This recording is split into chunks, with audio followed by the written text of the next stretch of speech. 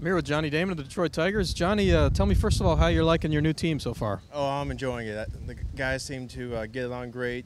Our coaching staff is awesome, and we have a uh, good young team that should be good for a long time. Uh, we have some veterans here that are going to be asked to do do a lot. Uh, Magglio, Carlos Guillen, myself, Miguel Cabrera has a chance to uh, be an MVP candidate every year, so we're excited as you got closer and closer to spring training and you were still without a job, I mean, was it at all anxious or nervous for you?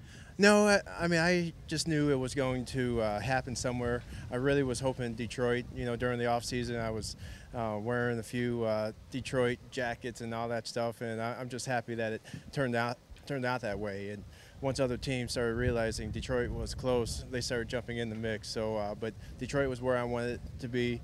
Um, I feel like I could help make a difference here, and uh, you know, so far we've been having a, a uh, pretty good spring.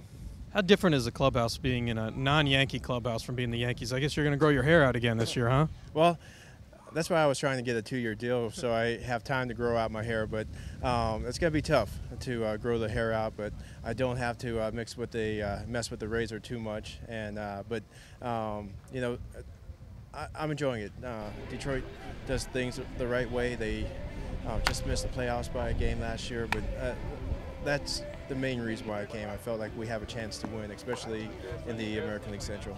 You're going to be playing next to Austin Jackson this year. A lot of people have high expectations for him. You saw him in New York, or you saw him with the Yankees. What do you think about uh, what he can be? Well, you, you, know, I think he's going to be a tremendous big league player. He's going to be around for a long time, and you know, I'm I'm hoping we could help guide him uh, through his first year, and hopefully he can uh, bring home the hardware and be the uh, rookie of the year.